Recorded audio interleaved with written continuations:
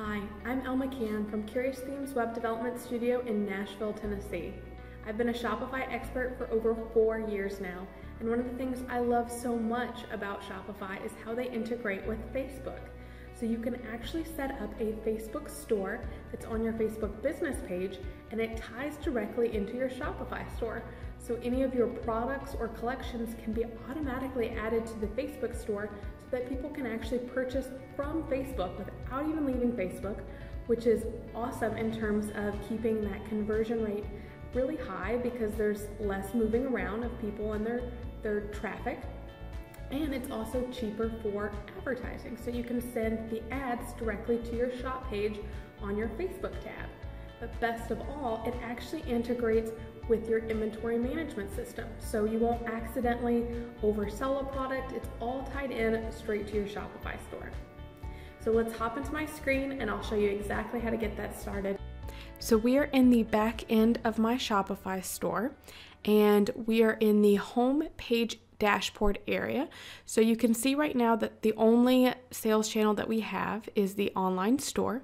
So to add more, so we're going to add the Facebook store, we're just going to hit this plus icon. And it's going to pop up all the different available sales channels. So we're going to scroll here to Facebook and just hit add.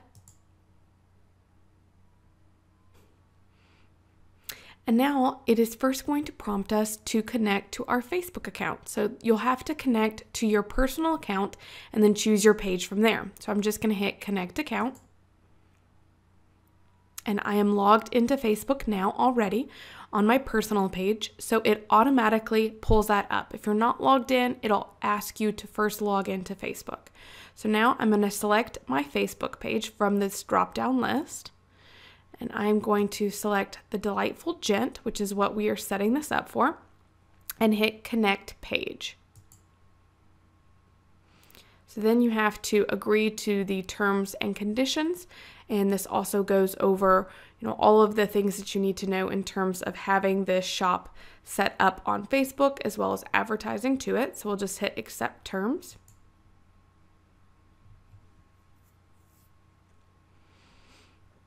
And as you can see here, it does prompt you that this process does take up to 48 hours to show everything on Facebook. So just be aware of that, that things aren't going to show up automatically, that there is an approval process.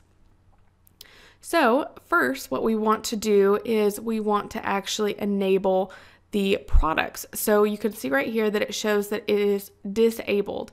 So if we go to our products area, we can now choose the products that we want to show up on Facebook. So we'll go to products. And you can see here, I have all of my different products that are available now. And I'm just going to select all the products. And I'm going to hit from this arrow and say make products available and I'm going to make sure that it is selected for both Facebook and online store and say make products available. So before it was just available on the online store. However, now I want it to be selected on Facebook to be available. We're also going to do the same for collections. So you can see right now all of the products I have are bags. However, I have a couple other collections set up. I just don't have products to them to them yet. So we're going to go over here to collections in this left hand menu. So it's on our products collections. And we are going to select the bags that we want to show up. So for example, if we click into this messenger bags, we can see in this visibility area over here that it is showing as set up on Facebook. So if we hit manage, it is online store and Facebook. So that is set up. However, we need to go and remove a few that we don't want to show up on Facebook. So we'll just hit done. And I'll go back to collections in this left-hand menu. So now I'm going to select all of the collections that I don't have any products in yet that I'm not ready to show up on Facebook yet. So I'm going to hit the sunglasses, the shop, watches. I'm going to remove the bestsellers, bar accessories, socks, watches, and hats. So all of these are collections that I'm working on adding products into. However, they're not in there yet, so I don't want them to show up on Facebook without any products in there. So I'm just going to hit this arrow again, And I'm going to say make collections unavailable this time.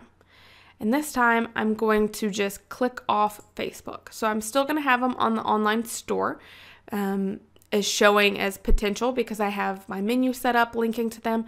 However, I don't want them set up on Facebook. So I just deselected that and said make collections unavailable. Okay, and now that I've done that, you can see here it'll say unavailable on online store. Oops, actually I changed the wrong setting. So we're just gonna go back under this arrow, make unavailable, and we're gonna say make unavailable on Facebook. We'll leave that checked and say make collections unavailable, and then we'll add it back to the online store. So now click this arrow again, make collections available, and we wanna make it available on the online store.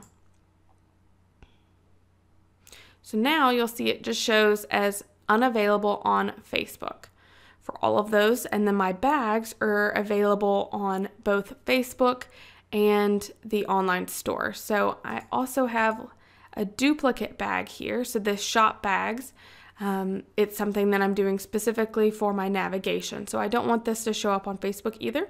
So let's just select this. And from this arrow, we're gonna say make collections unavailable and I am going to select just this Facebook. So I only want it to be unavailable on Facebook. Okay, and now we'll scroll down and now it's showing as unavailable on Facebook. So now we're gonna go back to the sales channel Facebook area. So we'll click Facebook here.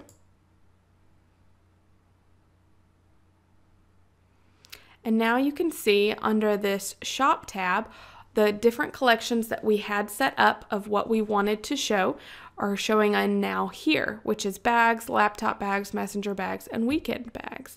So you can see how this is looking on desktop and mobile. This is the mobile and this is the desktop. So this is my cover photo, my profile picture on Facebook, and then here are the different collections. So this is the main bags, laptop bags, messenger bags, and weekend bags. However, we can go in and we can rearrange the order. So I can drag and drop them. Let's say I want messenger bags to show up first. I would just drag and drop that on top. And then we now see this messenger bags is showing up above laptop bags. So we'll do it back just to show that it does it automatically like that. So we'll hit publish changes.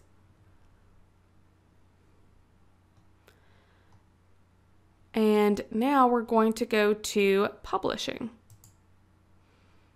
So publishing is where you will see all of the different products that you have on your Facebook store. And if you have any errors, you would see that here. So if you had an error that wasn't working with the Facebook terms, that would show up here. Or if you, you know, didn't have a certain um, variant like color or sizing that was off, then it would show up here. Right now we have this pending review of our 11 different products so far. So once that's done, it would show them as approved.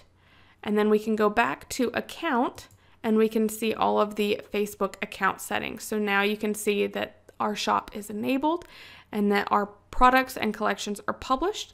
So this would be after it is now being reviewed. We could saw on the publishing tab that we still had some products being reviewed, so it won't show up yet on Facebook. And we have this option of the Facebook checkout. So, do we want our customers to check out on Shopify? Or for US customers, we want them to check out on Facebook?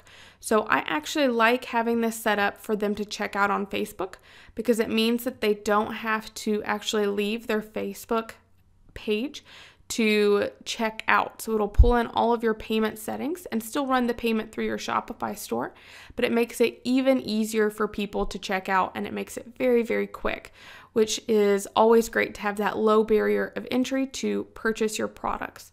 Now, also, whenever you are creating ads, you can always create a Facebook ad that goes directly to your Facebook shop tab. And because of doing that, it's going to make it even cheaper for the ads because Facebook wants you to keep people inside Facebook versus going outside of Facebook to your store. So by doing that, you're actually kind of saving yourself a little bit of money on advertising. So now let's go to our Facebook page and see if it is showing up yet. And you can see now on this left hand menu, it shows as shop.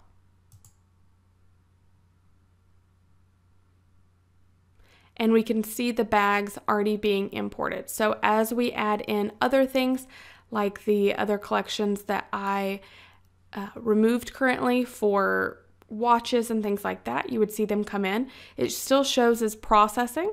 So um, once it is finished, you'll actually see the prices and the description all being input there. And that's just pulling from your products in your Shopify store. So I hope you found this video tutorial helpful and stay tuned for the next video that's going to walk you through how to set up your Pinterest buyable pin sales channels.